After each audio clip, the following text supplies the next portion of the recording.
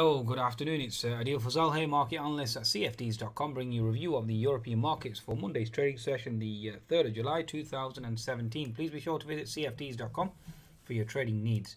Also, visit Trade Signal, signals and market updates from leading providers at www.tradesignal.com. You can certainly download the app at the Google Play and the Apple App Store. Allow me just, just to uh, make some adjustments here with regards to the sound. Bear with me, folks. Okay, so that should improve the sound. Okay. Okay, so let's get to the uh, stats then in terms of uh, Asian markets overnight. Let's have a look here. The Nikkei up 22 points, the Shanghai more or less flat, the Hang Seng more or less flat. So certainly no real sense of direction from the Asian markets, although economic uh, wise or economic data wise, we had Chinese data certainly stronger than expected overnight. Uh, Japanese consumer confidence coming in on the weaker side. Japanese vehicle sales certainly coming in slightly stronger. We had um, a Turkey inflation rate coming in weaker than expected, so again weaker growth going forward. We've had Spanish PMI certainly coming in weaker. We've had uh, CHF retail sales coming in weaker, but the uh, PMI coming in stronger. Italian, French PMIs coming in the weaker side. German PMIs always generally tend to uh, err on the uh, stronger side. Unemployment uh, in uh, Italy certainly increased, so again that's a negative sign. PMIs in Europe slightly beating, okay, and the, the uh, PMI data out the UK certainly coming in weaker than expected. Unemployment rate certainly has increased in the Eurozone as a whole as well, so therefore having a negative slant, okay. We're uh, 39 minutes till Mr. Carney speaking now. We have uh, at 1 p.m. So that'll be interesting as to which way the uh, FTSE 100 will move. Then we're looking forward to US data. So we have PMIs, ISM, construction spending. Again, we have Mr. Haldane as well later on at half past six. So again, quite volatile for the FTSE 100. Okay, so uh, let's see exactly where we're positioned on the European markets from a technical perspective then. Going over to the German DAX here, looking at the daily chart. Okay, so we've certainly bounced off this key diagonal trend line. Bear in mind we still have the unfilled gap left open at 12,000, so again, just be cognizant of that. 60 minute chart at the moment, we're still in those lower lows, lower highs. We have an unfilled gap below, and we'll see exactly how the market responds there. We'll just take it as the uh, as the day progresses. Okay, so you have an unfilled gap below. Okay, so we've obviously gapped up here. Gapped up from that pivot low at uh, 12.326. We've gapped up almost uh, 100 points today on the uh, German DAX. Okay, so you're certainly facing resistance there. And like I said, you have gap fill below.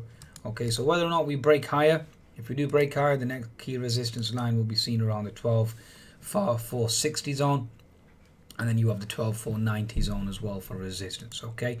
In terms of the French CAC let's just look at the French CAC on the daily chart as uh, for and foremost we bounced off previous resistance equals support. We have an unfilled gap that still uh, remains open at 5060 60 minute chart we're still in that lower lows lower highs although we are starting to potentially break out here.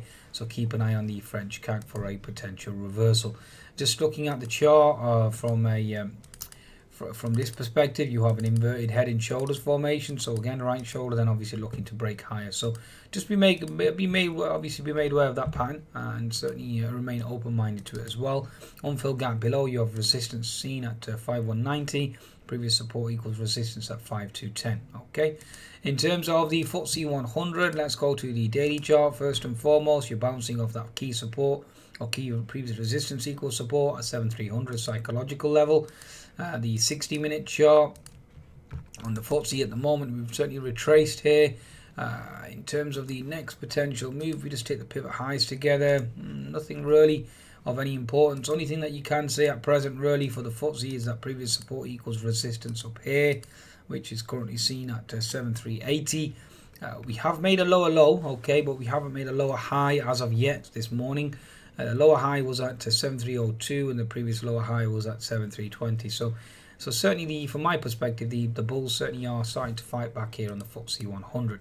Again, Mr. Carney's speech will go a long way in terms of the next potential move on the uh, the actual uh, FTSE 100 itself. Okay, your pivot low is seen at 7300, so let's see how Mr. Carney swings it in terms of which way and which direction the market is heading. Okay, for now, we're just taking the pivot high, connecting this, these uh, key diagonal trend lines together, key uh, points together to create this diagonal trend line. So do we actually fall back and close a gap on Mr. Carney's speech, okay, or do we actually reverse and start to push higher? So again, be made, be made aware of that as well. Always be open-minded. You have a potential here for inverted head and shoulders now. Okay, and looking for a potential reversal if Mr. Carney certainly toes the uh, the dovish line again. So again, it'll be confusing because he's been hawkish and dovish and hawkish and dovish. So we'll see exactly which way uh, he's slanted or which way he's positioned. Okay, last but not least, you're looking at the Euro Stoxx. We've certainly gapped higher from that 3440 zone. We've gapped higher by 35 points and we're looking vulnerable here. We're not pushing higher any further. One fill gap remains at 3442. So just be made aware of that as well. Okay, that's the status quo. Now, the daily chart on the Euro Stoxx already did hit gap fill and has bounced ever since. So again, that was certainly expected on the uh, the actual gap being filled. Okay, so I think that's a good summation of European markets. From my perspective, uh, I bounced, but a lackluster one at that. And again, it will be dictated by Mr. Carney now, who should be coming out in the next uh, 30 minutes and uh, to uh, give us direction. On that note, please be sure to visit cfds.com for your trading needs and certainly download the latest app. Goodbye now.